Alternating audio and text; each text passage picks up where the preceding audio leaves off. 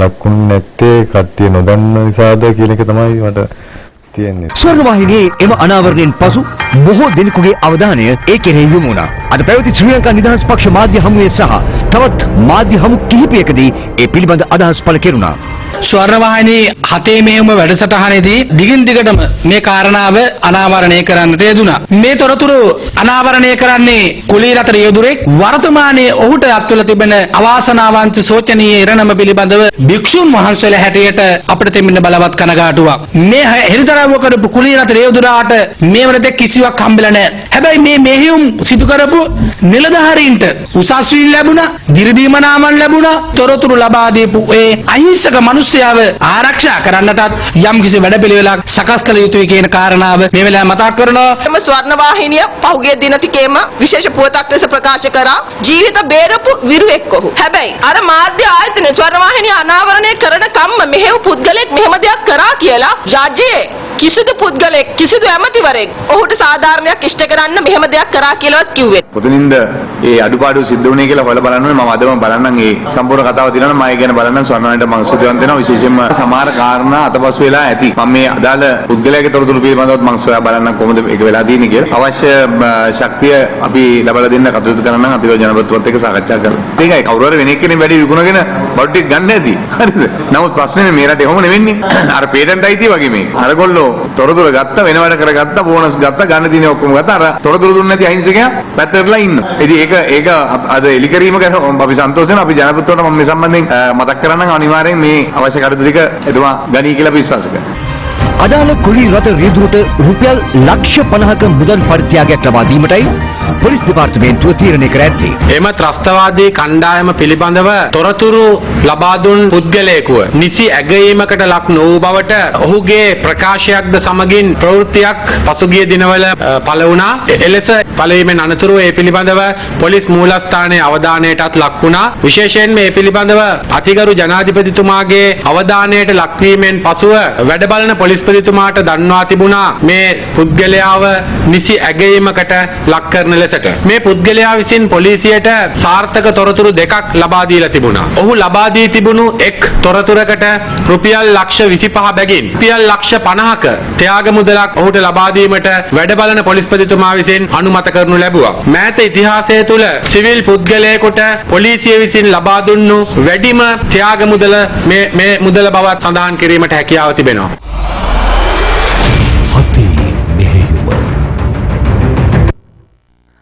හිටපු ආරක්ෂක ලේකම් හේමසිරි ප්‍රනාන්දු සහ අනිවාර්ය නිවාඩුවේ වා සිටින පොලිස්පති පූජිත් ජයසුන්දරට අප ලබා දීමට එරෙහිව නීතිපතිවරයා ගොනු කළ ප්‍රතිශෝධන අපායදුම් පත්‍රය සලකා බැලීම අගෝස්තු මාස පළමුවෙනිදා දක්වා කල් තැබුණා. ඒ අදාළ ප්‍රතිශෝධන අපායදුම් පත්‍රය අද කොළඹ මහාධිකරණය හමුවේ සලකා බැලූ අවස්ථාවේදී පාස්කුරුදා ප්‍රහාරයට දාලව අත්අඩංගුවටගෙන සිටි හිටපු ආරක්ෂක ලේකම් හේමසිරි ප්‍රනාන්දු සහ අනිවාර්ය නිවාඩුවා සිටින පොලිස්පති පූජිත් ජයසුන්දර කොළඹ ප්‍රධාන මහේස්ත්‍රාත්වරිය විසින් අපමත මුදා හැරීම නීති විරෝධී හා අයුක්ති සහගත බව සඳහන් කරමින් පසුගිය 18 වනදා නීතිපතිවරයා විසින් කොළඹ මහාධිකරණය හමුවේ මෙම ප්‍රතිශෝධන පෙත්සම ගොනු කළා. ප්‍රතිශෝධන පෙත්සම තුල කරුණු හතක් ගෙන හැර දක්වමින් නීතිපතිවරයා සඳහන් කර තිබුණේ මහේස්ත්‍රාත්වරිය ලබා දුන් අප නියෝගය නීතියට පටහැනි සහ නීතිය වැරදි ලෙස අර්ථකථනය කරමින් ලබා දී ඇති බවයි. මේ අනුව එය බලරහිත කරන ලෙසත් පෙත්සම විභාග කොට අවසන් තීන්දුවක් ලබා දෙනතුරු සැකකරුවන් දෙදෙනාට ලබා දුන් අප නියෝගය ක්‍රියාත්මක වීම අත්හිටුවමින් අතුරු ආඥාවක් නිකුත් කරන ලෙසත් ඉන් වැඩිදුරටත් ඉල්ලා තිබුණා. අදාළ ප්‍රතිශෝධන පෙත්සම කොළඹ මහාධිකරණයේ හමුවේ අද කැණවනු ලැබුවේ වෙනසුරු විකුම් කල්වරච්චි මහතා හමුවේ. අද එම අවස්ථාවට පෙත්සමේ වගඋත්තරකරුවන් ලෙස නම් කර තිබූ හිටපු ආරක්ෂක ලේකම්වරයා සහ අනිවාර්ය නිවාඩුවා සිටින පොලිස්පතිවරයාද පැමිණ සිටියා.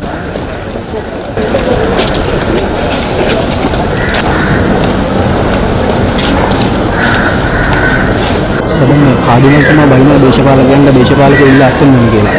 මේ බට නඩුවක් තියෙනවා. වගතුරුකරුවන් වෙනුවෙන් පෙනී සිටි ජනාධිපති නීතිඥවරුන් වන අනුජ ප්‍රේමරත්න සහ අනුර මැද්දේගොඩ යන මහත්වරුන් අධිකරණයට දන්වා සිටියේ තම සේවාදායකයන් නොතේසි ලැබී නොතිබුණද ඔවුන් අද අධිකරණයේ හමුවේ පෙනී සිටින බවයි. වගුත්තරකරුවන් වෙනුවෙන් පෙනී සිටි ජනාධිපති නීතිඥ අනුර මැද්දේගොඩ මහතා අධිකරණයෙන් ඉල්ලා සිටියේ පෙත්සමේ කරුණු තහවුරු කිරීම සඳහා වෙනත් දිනයක් ලබා දෙන ලෙසයි.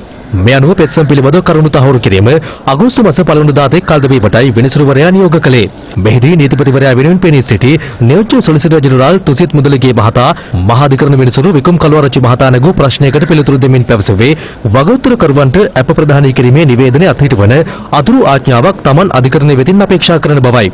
එහිදී මහාධිකරණ විනිසුරුවරයා විමසා සිටියේ පෙත්සමෙන් ඉල්ලා සිටින අවසාන සහනය සහ අතුරු සහනය එක නොවේදයි යන්නයි. ඊට පිළිතුරු දුන් නියෝජ්‍ය සොලිසිටර් ජෙනරාල්වරයා සඳහන් කළේ මේ පිළිබඳ කරුණු තහවුරු කරන අවස්ථාවේදී තමා කරුණු ඉදිරිපත් කිරීමට අපේක්ෂා කරන බවයි.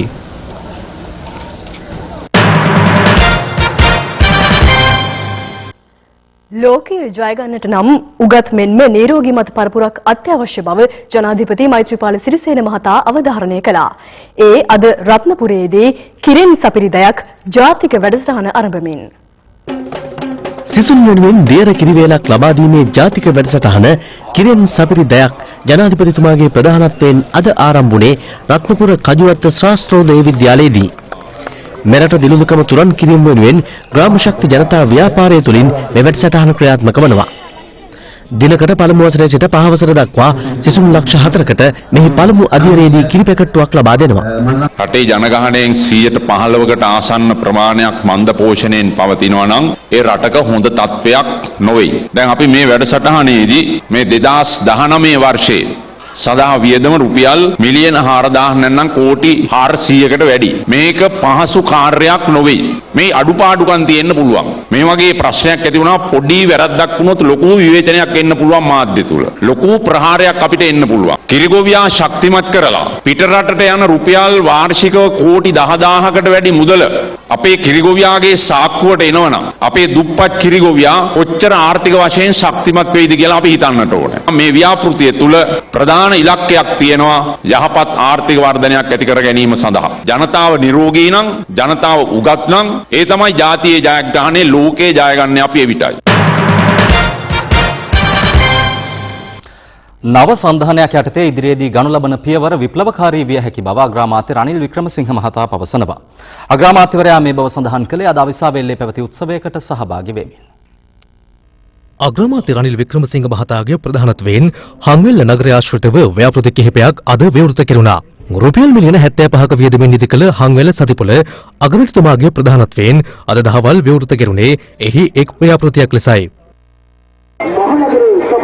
මේ අතර පාදුක්ක මහජන ක්‍රීඩාංගණයත් අග්‍රාමාත්‍යවරයා අද විවෘත කළා. ඒ සඳහා වැය කළ මුදල රුපියල් මිලියන 64ක්.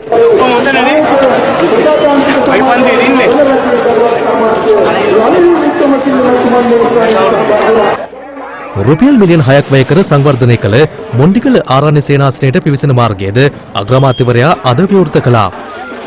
මේ අතර අවිස්සාවෙල්ල සීතාවකපුර යෝජිත වාණිජ නගරයේ ඉදිකිරීමේ කටයුතුද අග්‍රාමාත්‍යවරයාගේ ප්‍රධානත්වයෙන් අද ආරම්භ කෙරුණා.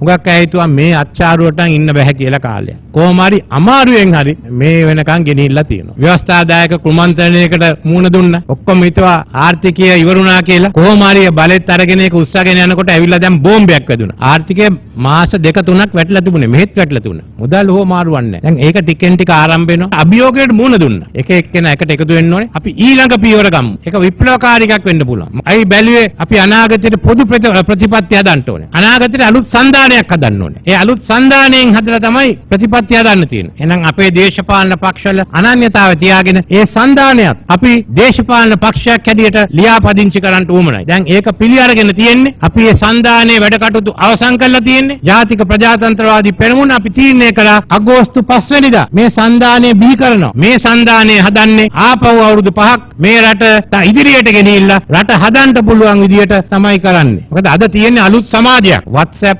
සමාජයක් තියෙන්නේ වෙන එකක් නෙමෙයි. අලුතෙන් හිතන්නේ. ඉස්සර අපි යනකොට බාබර් සාප්පු තිබුණා. අද ඔක්කොම තියෙන්නේ සෙලූන්. එදා තිබුණේ ෂෝට් කට් කොටට කපන්න නැත්නම් ටිකක් දිගට කපන්න. අද එක එක විදියට දාලා අහනවා ඊළඟට මේක කහ පාට කරන්න ඕනේද කොළ පාට කරන්න ඕනේද ජෙල් දාන්න ඕනේද කියලා ඒක ඒක තමන්නේ ඒ ඒ ඔක්කොමම කවුරු හරි ජීවත් වෙනවා. අලුත් ලෝකයකට යන්නේ. එහෙනම් අපිටත් ඒ ශක්තිය තියෙන්න ඕනේ. මේ සම්ප්‍රදායික රාමුවෙන් පිටට යන්න. අලුතෙන් හිතන්න. නැත්නම් අපි කාටවත් දොස් කියන්න බෑ. අපි එපා කියලා අපි කුණුබක් කියලා දාන්න කිව්වොත්. හිටපු ජනාධිපති විපක්ෂ නායක මහින්ද රාජපක්ෂ මහතා සහ ශ්‍රී ලංකාවේ ඇමරිකානු තානාපතිවරිය අද හමු වී තිබෙනවා. ශ්‍රී ලංකාවේ ඇමරිකානු තානාපතිනි ඇලයිනා බී ටෙප්ලික්ස් මෙනවිය අද හිටපු ජනාධිපති විපක්ෂ නායක මහින්ද රාජපක්ෂ මහතා හමු වුණා.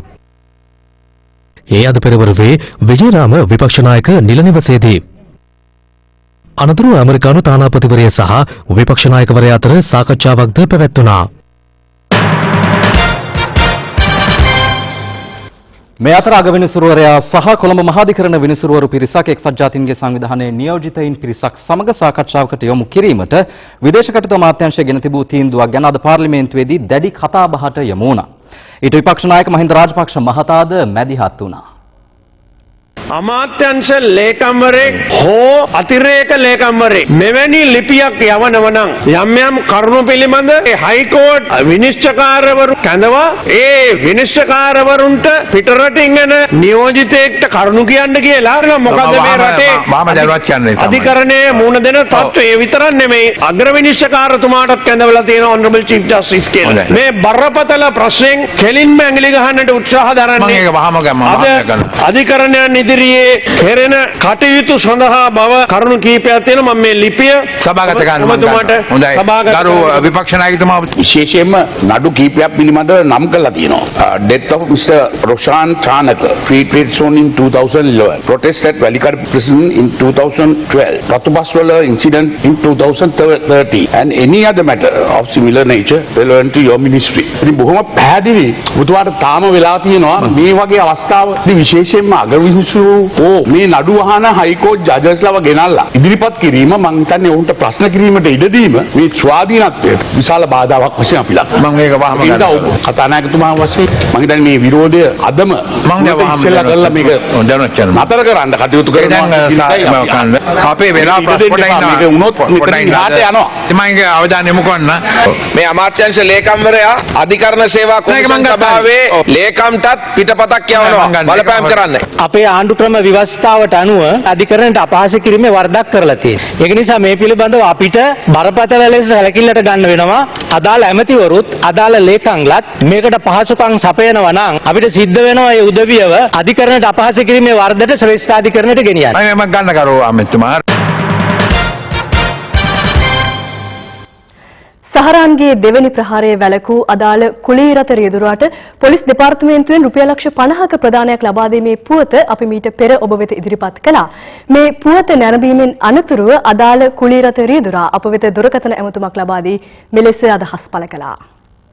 ම- ඒ මං ඒ කරපු මෙහෙවර ස්වර්ණවාහිනිය හතේ මෙහෙමාරා ඒ සියල්ල- ඒ තොරතුරු රටට දීලා මා අම්, පත් වෙලා ඉන්න මේ අසීරුතාවයේ රට දැනුම් දීලා ඒ සියල්ල රට දැනුවත් කරලා මම දැන් මේ යම් කිසි ස්ථානයකින් ආරක්ෂිතව එතන ඉන්නකොට ස්වර්ණවාහිනිය යනවා දැක්කා. මේ ජනාධිපති අධිකාරී ජනාධිපතිතුමාගේ මැදිහත් වීමෙන් මට විශාල මුදලක් වෙන් කරලා තියෙනවා කියලා. ඒ මුදල ලැබිලා තියෙන මට නෙමෙයි මම රට වෙනුවෙන් කරපු විචාර කැපවීම වෙනුවෙන් ජාතිකර ජනාධිපතිතුමාට ගොඩාක් පිං පොලිස්පතිතුමාට ගොඩාක් පිං. ස්වර්ණවාහිනිය ඇවිල්ලා රෑ දෙගොඩ හරි මාව හොයාගෙන ඇවිල්ලා අපි බය බය දුව වාහන එනකොට ස්වර්ණවාහිනිය එල්ල ඒ විදිහට අපි මේවා කරලා අපි බය ඇරලා රෑ දෙගොඩ හරියක් එනකන් ඒගොල්ලන්ගේ වෙහෙස අපි වෙනුවෙන් යොමු කරලා මේ මා විශාල සේවයක් රට වෙනුවෙන් අපි මා කරපු දේ එලි දක්වාට ඔබ මේ ස්වර්ණවාහිනිය ආයතනයට ගොඩාක් ස්තුතිවන්ත වෙන්න ඕනේ. යාපනය මනිපායි ඉනුවිල් ප්‍රදේශයේදී නිවෙස් කිහිපයකට පහර දීමට පැමිණ පොලිසිය සමග ගැටුමක් ඇති කරගෙන පලා ගිය ආවාකල්ලි සමාජිකයින් තිදෙනෙකු අත්අඩංගුවට ගෙන තිබෙනවා. මේ අතර වවුනියාව පුලියම්කුලම ලිඳකින් මෝටාරුණ්ඩ ඇතුළු පුපුරණ ද්‍රව්‍ය තොගයක්ද සොයාගෙන තිබෙනවා. මෙම මෝටාරුන්ඩ තොගේ හමු වී ඇත්තේ පුලියන්කුළුම් ප්‍රදේශයේ ලෙදක් පිරිසුදු කිරීමට ගිය අවස්ථාවේදී. ප්‍රදේශවාසීන් පොලිසියට කළ දැනුම් දීමක් අනුව වවුනියාව මහේස්ත්‍රාත් අධිකරණයේ නියෝගයක් යටතේ ලිඳ තුල තිබූ පුපුරා ද්‍රව්‍ය කොටගත්තා. ඒ වවුනියාව පොලිස් විශේෂකාර බලකායේ නිලධාරීන් යුද හමුදාව සහ පොලිසිය එක්වයි. ලිඳ තුල තිබී මිලිමීටර් 81 වර්ගයේ මෝටාරුන්ඩ 27ක්, ගිනියනි කොටස් දෙකක් සහ බිම්බෝම්බයක්ද කොටට ගැනුණා. පොලිසිය පැවසුවේ හමුදා ප්‍රහාර හමුවේ පලාංගියේ LTT ත්‍රස්තවාදීන් මෙම පුපුරා ද්‍රව්‍ය ලිඳට දමා යන්නට ඇති බවට සැක කරන බවයි. පොලිස් විශේෂකාර බලකාය පුපුරා ද්‍රව්‍ය නිෂ්ක්‍රිය කර තිබෙනවා. මේ අතර පසුගිය සෙනසුරාදා රාත්‍රියේ මණිපායි ඉනුවිල් ප්‍රදේශයේ නිවාස කිහිපයකට පහර දීමට තිවුණු ආයුධයගෙන පැමිණ පොලිසිය සමග ගැටුමක් ඇති කරගෙන පලා ගිය ආවාකල්ලි සමාජිකයන් දෙදෙනෙක් අත්අඩංගුවට ගෙන තිබෙනවා. පොලිසිය පැවසුවේ කෝපායි පොලිසියට ලැබුණු තොරතුරක් අනුව ඊයේ පස්වරුවේ සැකකරුවන් දෙදෙනා අත්අඩංගුවටගෙන මණිපායි පොලිසියට බහර දී ඇති බවයි. මේ අතර තවත් සැකකරුවෙක් මණිපායි පොලිස් සහායට ඊයේ බහර දීමෙන් අනතුරුව අත්අඩංගුවට ගෙන ඇති අතර ඔවුන් අධිකරණයට ඉදිරිපත් කිරීමට නියමිතයි. පසුගිය සෙනසුරාදා එම ආවාකල්ලි සමාජිකයින් පොලිසිය සමග ඇති කරගත් ගැටුමින් අනතුරුව පොලිසිය කළ වෙඩිතැබීමෙන් එක් සැකකරුවෙක් මිය ගියා. මෙරටට ගෙන්වා ඇති කසල තොගය පිළිබඳව විමර්ශනයක් කරන ලෙස ඉල්ලා සුරැකිමු ශ්‍රී ලංකා සංවිධානය අද පොලිස් මූලස්ථානයට පැමිණිල්ලක් ගොනු කළා. මේ අතර ඒ පිළිබඳව අද දේශපාලන වේදිකාවේදීද අදහස් පළ වුණා.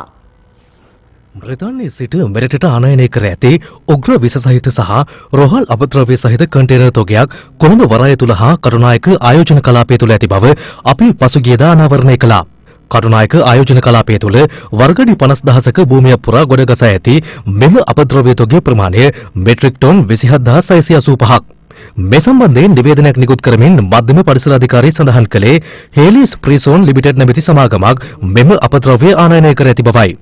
ශ්‍රී ලංකා රේගුවද මේ සම්බන්ධයෙන් ඊයේ මෙලෙස අදහස් පළ කළා.